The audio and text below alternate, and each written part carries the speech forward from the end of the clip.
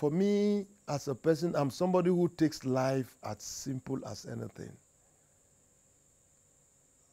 And I feel, as such, what I feel life is all about is affecting people around you positively.